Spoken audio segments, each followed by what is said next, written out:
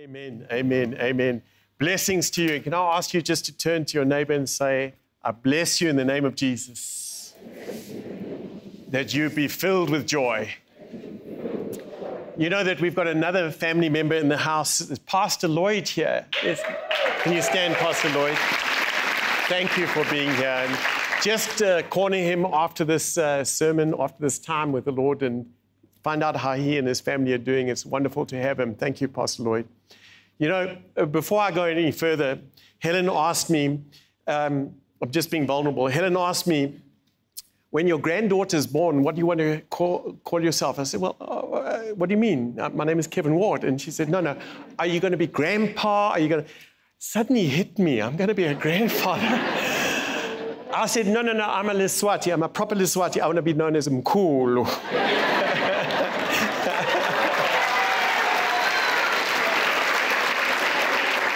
So, uh, Stevie Joy Ward, it's a total delight and privilege. We celebrate Joshua and Caroline. It's such a privilege to see their family expanding. They've been married more, more than five years. So, praise the Lord.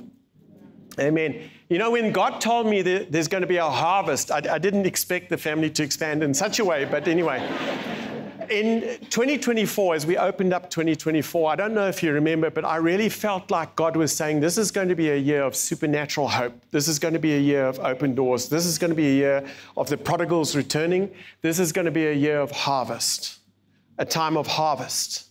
And as we consider the time of harvest and what I believe God is doing, I think it's really important to understand that if you want to harvest, either in relationships, in church growth, or if you want to harvest in finances, if you want to harvest in what God has called you to harvest, I think it's really important that we understand we've got to pursue God first. Tell your neighbor, pursue God first. And as you pursue God first, there's this, there's this amazing question that has to come because as I, as I sit with people over the last 25 years, I have found that when we talk about a move of God and a harvest of God, and we talk about open doors and we talk about God's provision and the prodigals coming home, I often hear people say, What about my future? What about my education? What about my finances? What about my house? What about my promotion? And I recognize as I hear that, that my, mine, mine is a common battle cry, unfortunately. And I need us to understand that as the harvest, and I really believe that this year there's going to be a supernatural bump where God is bringing in a massive harvest, not just to the church, but also of hope that there's going to, this is going to be a year of open doors, of hope, of expansion of God's kingdom in whatever you're doing for God to advance His kingdom. But in saying that, we need to get a few things right. And the first question I have, the title of the message is Who's the owner? Ask your neighbor, who's the owner? This is important because many haven't really answered this question, and a lot of people trip on this question. It's vital that we get a grasp here because our view of God's role in the harvest, our rule, our view of God's role in our life, and our view of God, our, our view of our role in our life will change the way we see things and the way we behave. The way we view God's role or the way we view our role will impact us. And I want to take what Jesus says in Matthew 24. If you go to Matthew 24, please, and just consider 20, sorry, 25, verse 1, eh, verse 14. The scripture says, For the kingdom of heaven, and, and, and I know you know this parable that he speaks, but I, I, want us to have a look at this parable. It's the parable of how Jesus talks about how he gives one person five talents, another one two, and another one one. And I want us to look at this because I believe there's some nuggets in here. As we look at Matthew 25, verse 14, for the kingdom of heaven is like a man traveling to a far country who called his own servants and delivered his goods to them. He called his own servants delivered his goods to them. Do you know that God calls himself about 250 different names throughout Scripture? about 250 names. But if you had to sum up the most common name, it is the name Lord. The name Lord. And so, the first point I want to make this morning that I believe is the heart of the Father for us in this season is to recognize the Lord is owner of all. The Lord is owner of all. The Lord claims comprehensive ownership. There are no other owners. As I share that, consider this for a moment. In Psalm 24, verse 1, he says, The earth is the Lord's and its fullness, the world and those who dwell, the world and those who dwell in it. For he has founded it upon the seas and established it upon the waters. So let's recognize that the Lord is saying, I'm the creator of the universe. I formed you in your mother's womb. I separated you for a plan and purpose. And so the Lord is saying He's the Lord of all things, and there's only one owner. Colossians 1:17 says, "In him all things are held together." In 1 Corinthians 6, verse 19, he says, Did you not know your body is the temple of the Holy Spirit who's in you, whom you have from God, and that you are not your own, for you were bought with a price. Therefore, glorify God in your body and in your spirit, which are God's, which are God's. God owns that. So even our body is the temple of the Holy Spirit for the Lord. After God created the heavens and the earth, He created man in His own image. Male and female, He created them. God blessed them and said to them, Be fruitful and multiply, fill the earth and subdue it, have dominion over all the fish of the sea, over the birds of the air, over every living thing that moves on the earth. The word dominion here means rule, manage, supervise. You could sum it up with the word steward. And David reinforces this true, truth where he says, You made mankind rulers over the works of your hands. You put everything under their feet. You made mankind rulers over the works of your hands, and you put everything under their feet. Let me say it again God claims comprehensive ownership, He's the Lord of all. And when we allow Him to be Lord of all, He is then able to be for you the waymaker, the miracle worker, the promise keeper, light in the darkness, he brings life and abundant Zoe life. By the way, He brings life even when people are stealing. I mean, just think for a moment.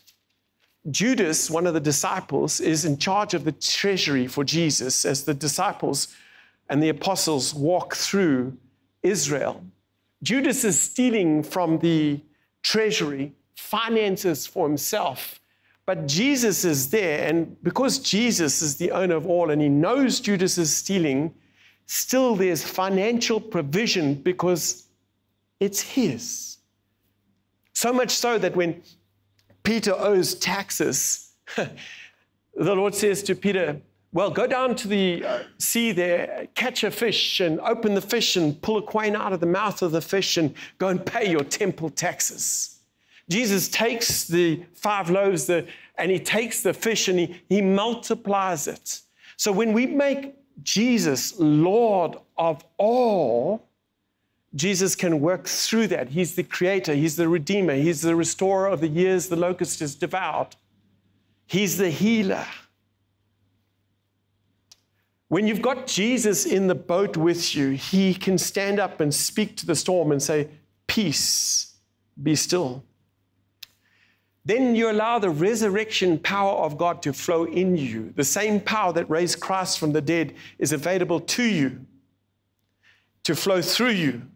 In John 14 21, Jesus said, He who has my commandments and keeps them, it is he who loves me. And he who loves me will be loved by my Father, and I'll love him and make myself manifest will manifest myself to him, will reveal myself to him, will show myself to him. So when we make him our foundation, where he's Lord of all, then you have the right foundation. Think about this for a moment. How was Moses able to leave the palace where he had been earmarked to be potentially raised up as a future Pharaoh, trained in leadership, all the palatial benefits? But he leaves that to suffer in the wilderness. How is it that he can leave that and suffer in the wilderness? Because he knows God is Lord and that God can restore. God can redeem those years that have been lost. God can reconcile, God can heal, God can provide. Think about Job.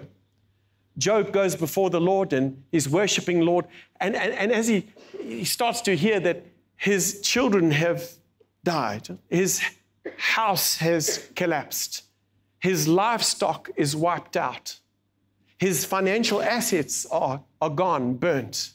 He has nothing left, and yet Job is still able to worship the Lord, having lost everything. How? Because he knows God is Lord and Lord of all. And he knows the Lord can re- restore and can reconcile, that the Lord can create miracles. I, I was thinking for a moment about um, a punch bag. And um, if you in my university years, they used to have this punch bag with a weight at the bottom of it. And as the students would go into to the gym, some of them would work out their frustrations on the punch bag, and you'd punch that bag, and that bag would go down, bam, and it'd come back up, bing, punch it again, bam, come back up, bing. And, and so sometimes it would go, bam, and stay down, and, but it'd come bing again. And I, one person went into the gym and saw him kick the bag. He was so frustrated. And the bag went flying, and, and then it went bam down on the ground and then swung to the other side, bam, but it came back up and went bing. And I want to put it to you like this in life, sometimes we take a smack, bam, the business has lost finances, bam, you've lost a job. But when God is Lord of all, a man can fall seven times, but he rises up again. Bam, bing, bam, bing, in Jesus' name. Sorry, can you say with me, bam, bam, bam, bam bing. bing. So when you make Jesus Lord of all, then the weight of the bag, the weight of your life is founded correctly. You found it, and no matter how many times you knock down, you're coming back up again because He's the Redeemer, He's the Restorer, He's the Waymaker, He's the Promise Keeper in Jesus' name. Can I ask you to ask your neighbor, is he Lord of all? Listen to this again. For the kingdom of heaven is like a man traveling to a far country. And we know Jesus is speaking, and Jesus, he went to the cross, he paid the price. He died, he was raised from the dead, and he went to heaven, he went to a far country, but he's coming again. It's like a man who's traveling to a far country, called his own servants and delivered his goods to him. To one he gave five talents, to another two, and to another one. Listen to this, each according to their own ability. And immediately he went on a journey. So Jesus is Lord of all. So then what are we? Second point, we are his stewards right from the beginning, when God placed man in this homestead, in a well treed garden, in a garden he called Eden, filled, teeming with life, he called us to be stewards. Listen to this in Genesis 2:15. Then the Lord God took the man and put him in the garden of Eden to tend and keep it. The role of man was to tend and keep it, to manage it,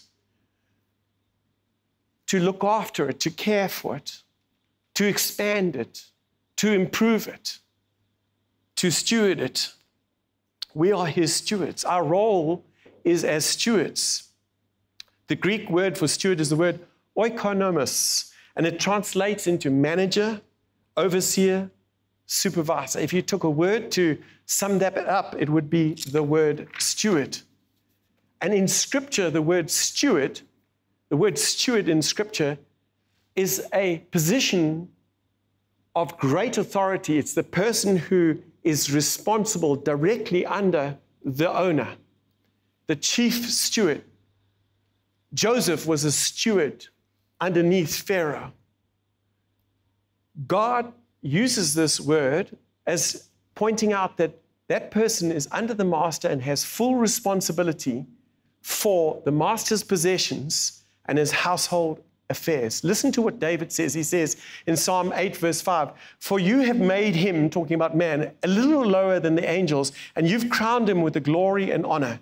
You've made him to have dominion over the works of your hands. You have put all things under his feet. So, as sons and daughters, we are his stewards. And as a steward, one's chief responsibility, one's chief responsibility is to be faithful.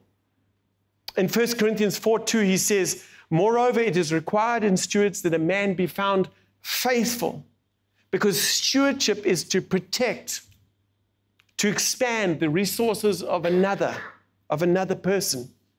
Some might be sitting there and thinking this morning, but you know, no one gave me a hand up in life. I work by the sweat of my brow. I'm a self made man. Uh, God didn't help me. I had to do it myself. I stayed up late at night in anxiety and fear and pushing through. It was by my sweat. But listen to Deuteronomy 8, verse 18. You shall remember the Lord your God. It is He who gives you power to get wealth. Why? That he may establish his covenant, which he swore to your fathers, as it is this day. Even skills that you've got are from the Lord that you have to steward. But one of the skills God can give you is the ability to create wealth. It's a gift from the Lord.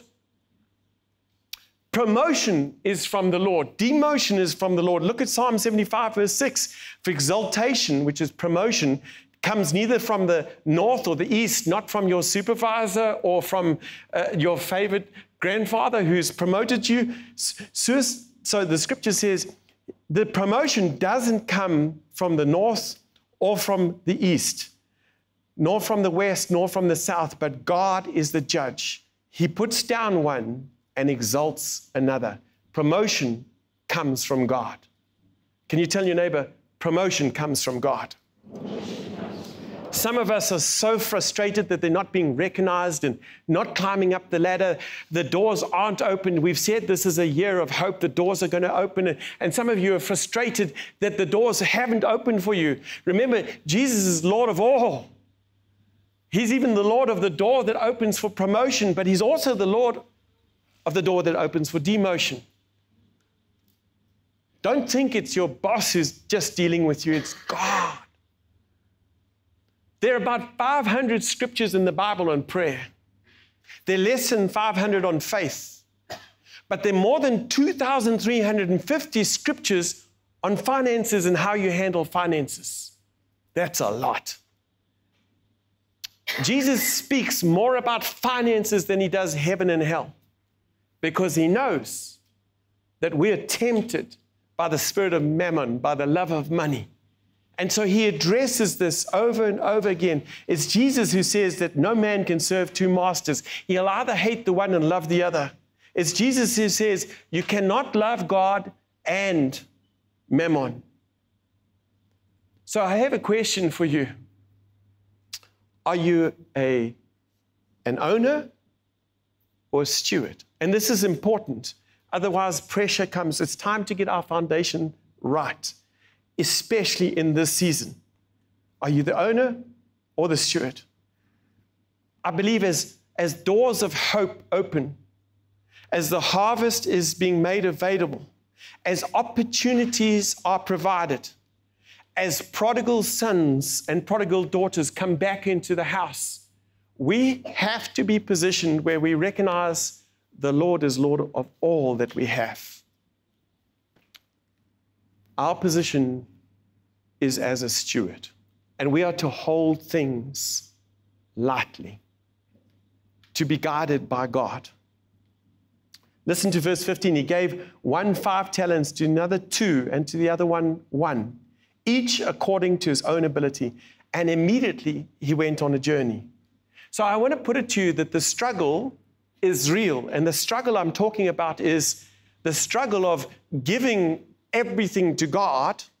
By the way, I said to God, I didn't say to the church. When the Lord is Lord of all, many people think that means that you have to give it all to the church. No, the Lord is all, Lord of all. We become stewards of the resources we have to steward as God wants us to give it, led by Him.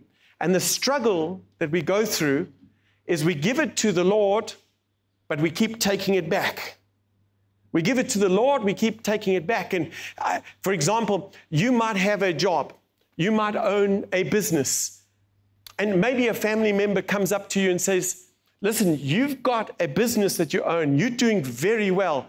Please, could you take your business and give me some cash? I need 10,000, please, because this 10,000 will pay for me to be able to do the following.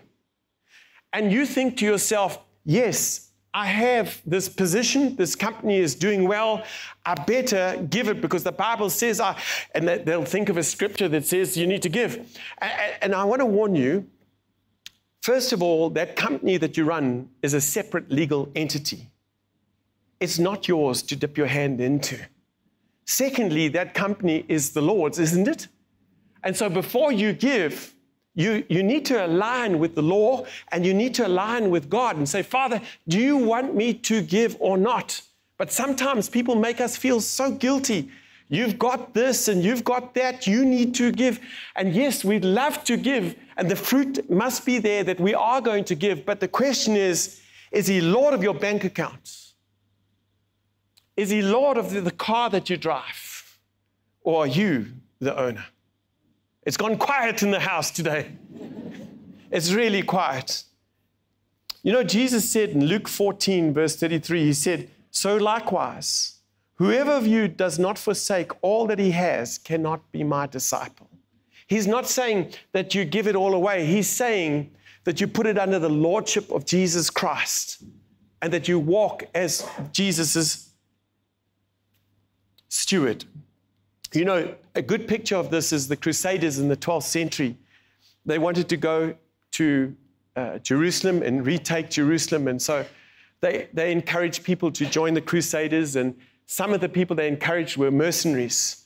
And as the mercenaries joined the Crusaders to march across to Jerusalem, the church decided these mercenaries, they were bloodthirsty killers, they were paid high killers, and, and, and so they needed to be baptized themselves. And, and so they required all the mercenaries be baptized. And so they got baptized, but the one thing they did is they left their one hand, their fighting hand, tell your neighbor, fighting hand. They left their fighting hand with the sword out of the water. And what they were saying is, Lord, I give you my whole life, but not my fighting hand and not my sword, because I will, I, I need to be able to fight. I need to kill whoever I want to kill. And I think that many of us actually are a little like that, where we get baptized and we give everything to Jesus, except not the wallet except not the keys of the car, except not the career, except not my relationships, except not my future. And, and we keep this hand out of the water instead of giving it all to Jesus. And that's the real struggle that goes on with us. And some of us, we keep the hand of culture out, and some of us keep the hand of our relationships out. And Jesus says, give it all. Because God gives you time all of us have got the same 24 hours. He gives us talent, but He also gives us His resources. You know, in Matthew 7 24, Jesus talks about getting the foundations right. He talks about a house that's built on the rock and a house that's built on the sand. The house that's built on a rock is a house that's built on the rock Jesus, on the Word of God. And the house that's built on the sand is sand represents human reasoning. And the two people are, have the same vision. They want to build a house. They both want to build a house. They want to build a future. They want to build a life. They want to build a family. They both got the same vision. They both heard the same sermon from Jesus. They hear God. And so they start building. But when the storm comes, tell your neighbor when the storm comes. When the storm comes, what actually happens when the storm comes, not if the storm comes, when the storm comes, weapons will be formed against you, but they shall not prosper. When the storm comes, now you see the separation between who's foolish and who's wise. It's the storm that reveals who's foolish and wise. And the one that's built on the sand, on human reasoning, on human culture, on human thinking, on human information, the one who follows the culture of the day, looking after self, built on sand, when that storm comes and the wind comes. And recently we had those horrible winds that hit the middle just below Manzini, and, and the wind was pounding against houses, and the hail damaged roofs and took roofs and slates off, and damaged buildings and crashed windows. And it's a big storm that comes, and the house that built on the sand fell, but the house that was built on the rock, the Word of God, where He's Lord of all, it stood. It's the storm that revealed whether they were wise or foolish. In the same way, this morning, we need to recognize we're either building on the rock, Jesus, His word, where He's Lord of all and we're stewards, or we are building on sand, human reasoning. I don't know about you, but I enjoy apples. Helen's always got the fridge full of apples, and uh, they say an apple a day keeps the doctor away. I enjoy an apple after I've run or just before I've run, and I enjoy an apple in the evening. It's, by the way, it's full of good stuff. And, uh, but if you go to a fair, you can find an apple there that's been dipped into caramelized sugar, covered with this lovely caramelized sugar. Uh, and uh, I don't know about you, but I enjoy those caramelized sugar apples. They're really good. But you know, the nutrition of an apple is excellent. But once you eat an apple that's caramelized, you neutralize everything that's good in it. One is good for you, but the other one that's dipped into caramelized sugar has no benefits to you. It looks good, it tastes good, but it has no benefits. And human reasoning, sand, has no benefits eternally to you. It's like caramelized apple.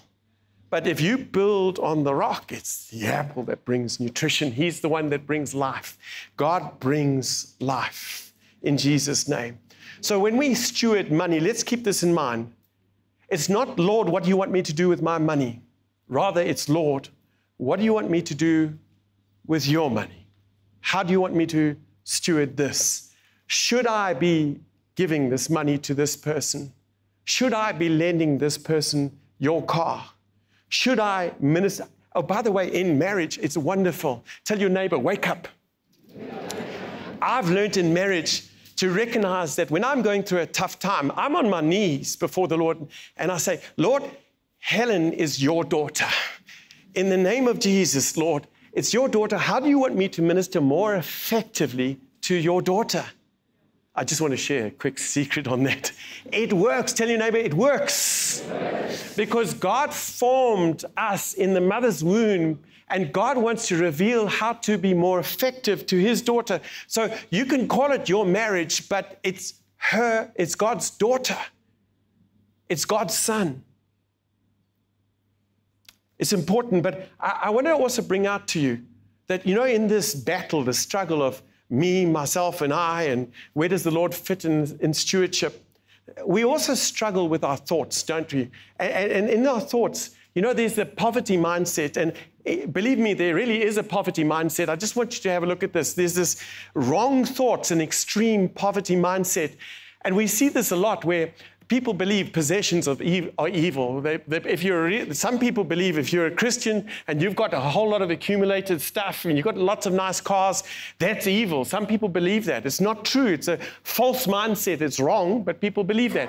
And, and they go to work only to meet their basic needs. They go to work because they need a job and I owe, I owe, it's off to work I go, and they, they earn a salary, and that salary meets their basic needs, and they go to work for basic needs to be met. Do you know that's a poverty mindset? God came to give life, an abundant life. God wants you to change your view. And un- ungodly, and they believe that godly people are poor, are supposed to be poor.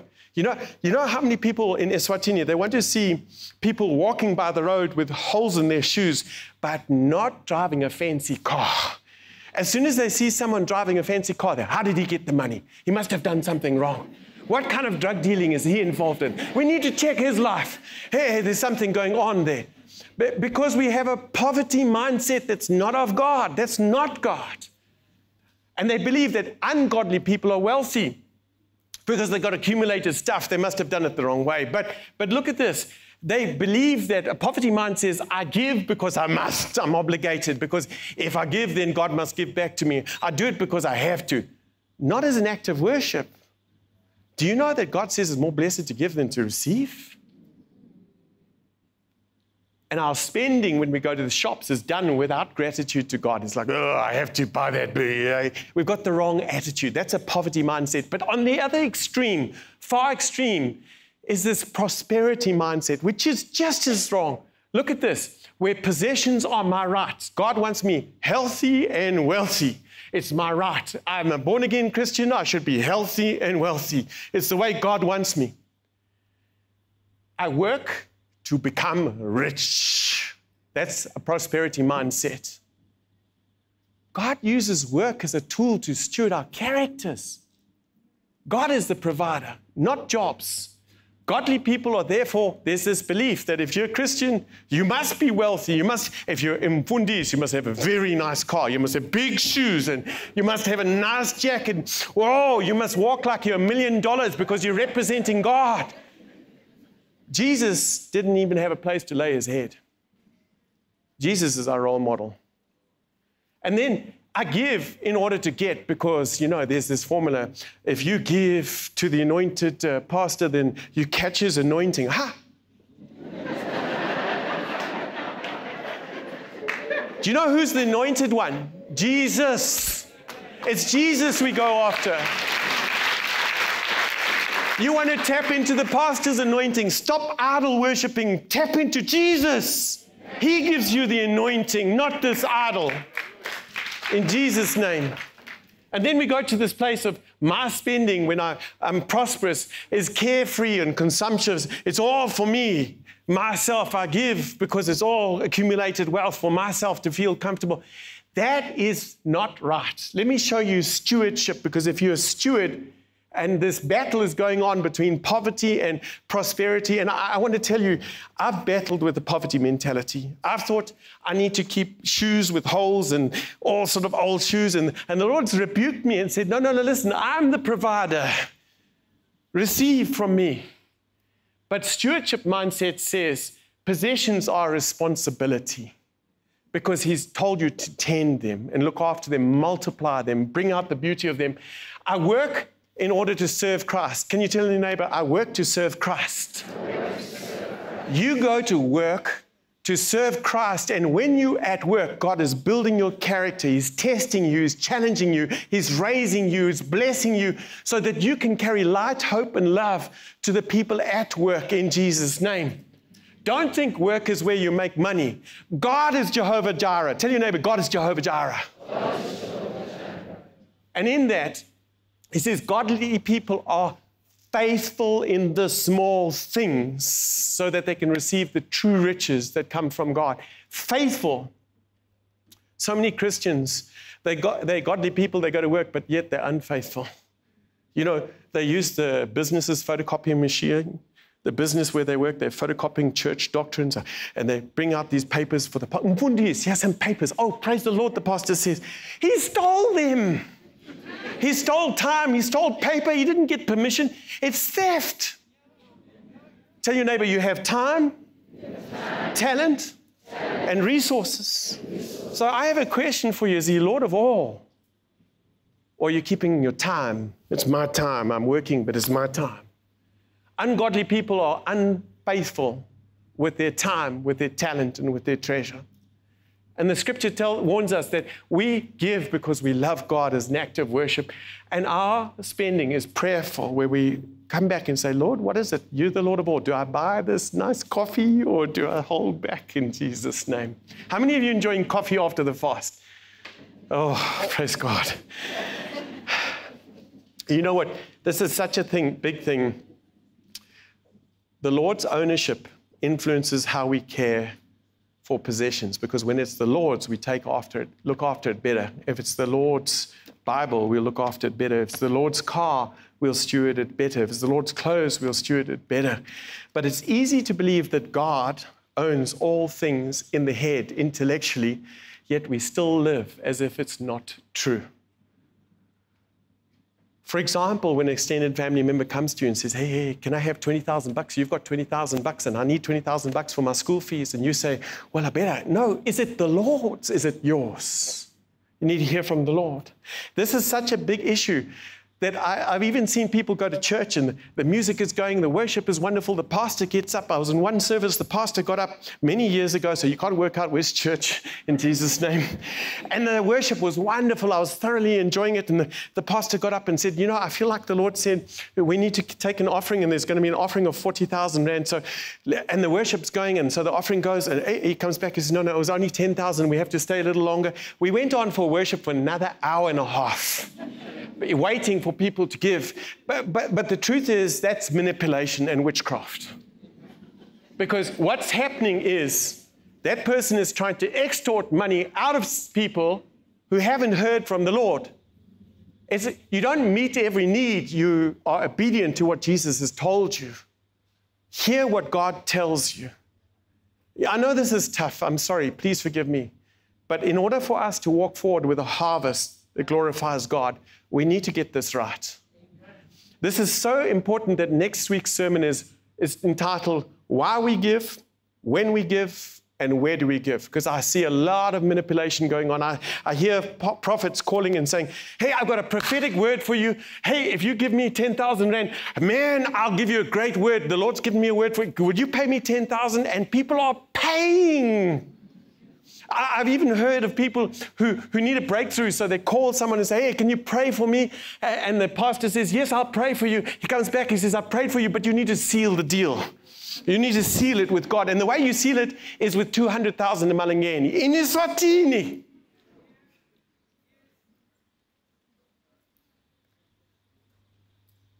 Why do we give? When do we give? And where to give? It's such a battle with our thoughts between a poverty mindset and a prosperity mindset instead of a steward mindset. Pastor Kurt, the following week after that, is going to be preaching on stewarding our thoughts. It's absolutely crucial to steward our thoughts. And Matthew 25, verse 16, then he who received five talents went and traded them. He, he worked them and, and made another five talents. And likewise, he who received two talents gave two more also. But he who had received one talent went and dug in the ground and hid his Lord's money. After a long time, the Lord of those servants will come and settle accounts with them. Came and settled accounts with him. Here's the fourth and final point we will be held accountable. There's a time of reckoning. He says that we'll appear before the judgment seat of Christ for the good and the bad done whilst in the body. Sorry, but can I ask you to tell your neighbor there is a time of accountability coming? And He's going to hold us accountable for our time that we've been given because we've got 24 hours in a day. And how did we spend that time? And this isn't heaping condemnation. This is just understanding that life is a sum conclusion of choices.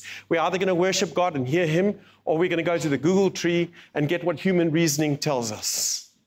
The second thing is that God gives every one of us talent. Everyone has been given talent and skills, and God gives us resources. And I know some people are sitting there and saying, But I don't have any resources. I don't have any money. I don't have doors opening. Can I tell you, you have resources? Tell your neighbor, I bless you that your eyes be open to your resources.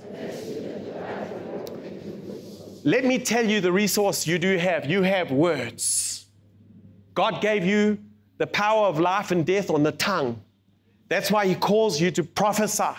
So you can speak life over situations. And when someone is battling, if, if I'm battling, Helen starts praying for me and she speaks life over me that I won't be so grumpy, that the Lord will give me the fullness of joy in the name of Jesus. Tell your neighbor, I bless you with joy. I, am telling you, God gives you words. Will you speak life or will you speak death? And by the way, the book, the word of God tells us in Matthew, Jesus said we'll be held accountable for every idle word that we speak. He says it in the New Testament. In Malachi, he talks about a book of remembrance. We will be held accountable. And you've got words. You also have the word of God, which goes forth and doesn't return void. I remember a friend of mine, um, I think one or two people will know him in the room, but many years ago, in, he came to Eswatini from South Africa, and he came to work for a fridge factory and he lost his job. He was devastated. And so he and I were praying together, and I reminded him that he has resources. He has words, and he has the word of God. And he came back to me and he said to me, Hey, Kevin, you know what I found? I found the word of God says, if a man does not work, don't feed him. But the reverse works too. If a man works, God will feed him. Tell your neighbor, if a man works, God will feed him. It doesn't say if a man's got a job, God will feed him. He says, God says if a man works. Job and work are two different things.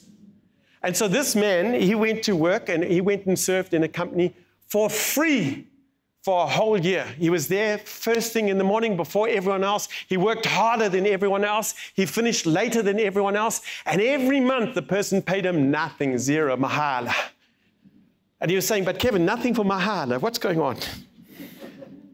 And so we prayed and prayed, but you know what? Every end of month, somehow outside of his house were plastic bags of food delivered. The fridge was full. Finances came in little envelopes. And what this man saw was God's supernatural provision that didn't come from work, from the job, but came from God through him working. And then a company approached him and offered him this amazing job, this incredible position in maintenance. And, and he became a maintenance director of a company. And two years later, that guy had earned so much money that he was able to move his whole family of four to Australia and buy a house. If a man doesn't work, don't feed him. But the reverse too, if a man works, God will feed him. And, and the point that I'm trying to bring here is you have resources in your words that you speak, but also with the word of God that God gives us.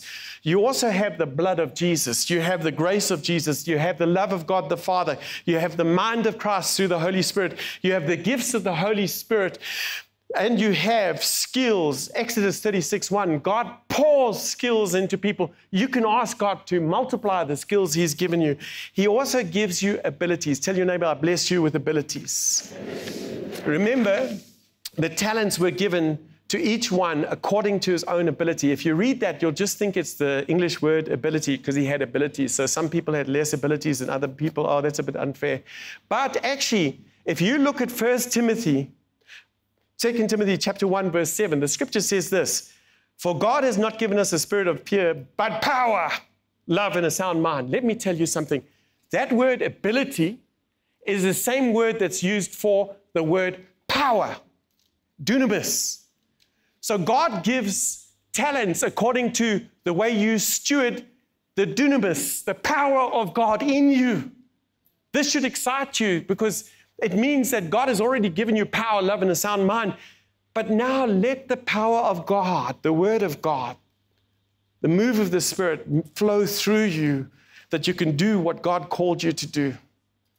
Uh, you know, we've been battling in Bulembu, we've been battling for some time about these minds are trying to come to Bulembu and, and take Bulembu. And I've been praying for, for the last two, three years. Helen and I and the leadership have been praying. So Lord, Lord, please, we don't have the financial resources. We don't have the human resource, but Lord, please could you provide an alternative property that if the mine comes, we are able to relocate. Well, we've been praying and praying and seeking the Lord and speaking life and speaking life under the blood of Jesus with the grace of Jesus. Well, a couple of months ago, a friend of ours came out from UK and he was driving with me in the car. And as I'm driving up to Bulembu, up the Melagwan, he says to me, What's your biggest problem? And I said, Well, The biggest problem is actually we need an alternative property. Could you pray with us? We could have this alternative property.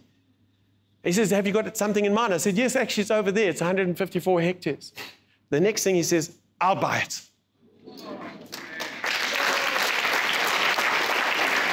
Now, we don't have the finances, but he paid for it. Look at this for a moment. Just watch this visual as you see this drone.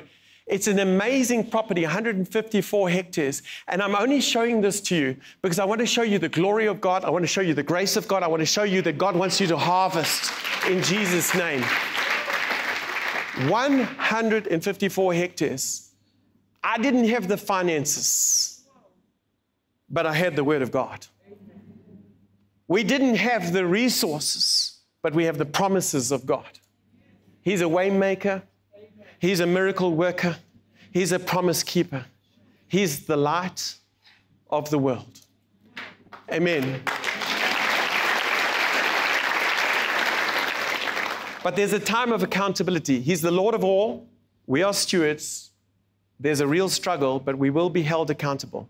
In Matthew 25, verse 20, he said, So he who received five talents came and bought five other talents, saying, Lord, you delivered to me five talents. I've gained five more talents. His Lord said, Well done, good and faithful servant. You were faithful over a few things. I will make you ruler over many things. Now look at this enter into the joy of the Lord. Because he was productive under God's leadership of his time, his talent, and his resources.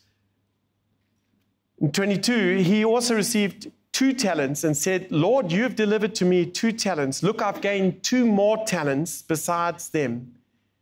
His Lord said to him, Well done, good and faithful servant. You have been faithful over a few things. I will make you ruler over many. Enter into the joy of the Lord the joy of the Lord. Look at verse 24. Then he who had received the one talent came and said, Lord, I knew you to be a hard man, reaping where you've not sown, gathering where you've not scattered. And I was afraid, and I went and hid the talent in the ground. Look, here is what you, is yours. But his Lord said, You wicked and lazy servant. You knew that I reap where I have not sown, and gather where I have not scattered. So you ought to have at least deposited the money with the bankers. At my coming, I would have received back my own with interest. So take the talent from him and give it to the one who's got 10 talents. For to everyone who has, more will be given, and he will have an abundance. But from whom he who does not have, even what he has will be taken away. And cast the unprofitable servant into the outer darkness, where there will be weeping and gnashing of teeth. Now, he's not talking about people who are struggling because they haven't got resources or can't work because they have health issues. He's, it's not about money. Tell your neighbor, it's not about money. This is about stewardship of time, talent, and treasure. And if you're not multiplying what God gave you God's way, there is a reckoning, a time of accountability. And it's not talking about hell, it's a Semitic phrase that's re- referring to when he says weeping and gnashing of teeth in outer darkness, it's referring to extreme regret. I don't know about you, but in my university years, I didn't serve the Lord with passion. I fell into human reasoning and I did things that I really regret. How many of you have had a life, there's portions of your life that you regret? Just put up your hands, please. Join me, shame the devil, and join me and confess it to the Lord we come under the grace of God, but there's parts of our lives that we regret. But this is now, God is saying, if you don't do it, building the house on the rock, you're going to have extreme regret because you're going to look back and you're going to recognize, I missed what God called me to do.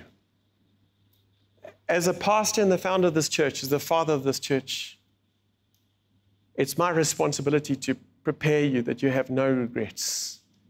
Life is short, eternity is real but people matter most. I care about you. We love you. We, we're proud of you as a church.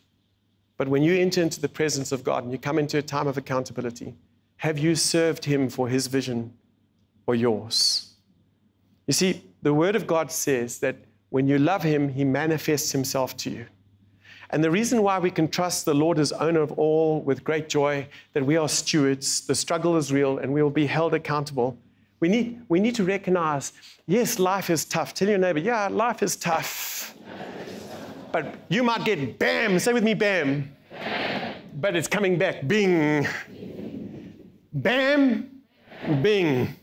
In 2024, let God fill us with His abilities, His dunamis, His, let Him upskill us. Let's come under the blood of Jesus. Let's build our house on the rock. And I invite the worship team up as they come up this morning. Can I remind you the prodigals are coming home? God's throwing out a net to harvest. I believe He's bringing hope for us, He's bringing joy. There's going to be a supernatural move in our country where there's going to be a change for God's glory. Can I ask you to stand this morning? Let's give the Lord a clap. Thank you, Father.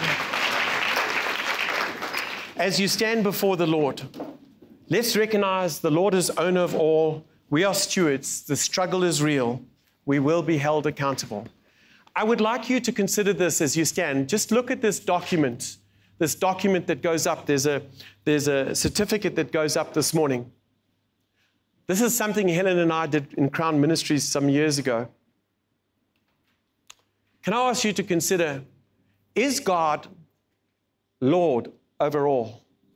This is going to go out on on WhatsApp messages. And I'd like you to consider taking this quitclaim deed and consider what do you own that you need to give back to the Lord? Not to the church, not to the pastor, to the Lord.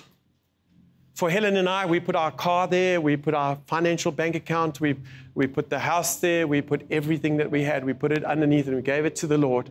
And we are no longer the owners. God is. We're simply the stewards, knowing that we're going to be held accountable to the Lord. Can I ask you to consider taking that certificate home and going before God? Because I believe many of us, many of us here, are running your companies, running your position at work, running relationships in family as if you're the owner. And I believe the Lord's saying, I want to give you a harvest, but make me the owner, make Jesus the owner. Let him be the owner and you be the steward. Then He can entrust you with more. In Jesus' name. Can you bow your heads, please? Father, we want to ask for forgiveness for not even consulting you over how we handle money, how we handle your skills, your talent.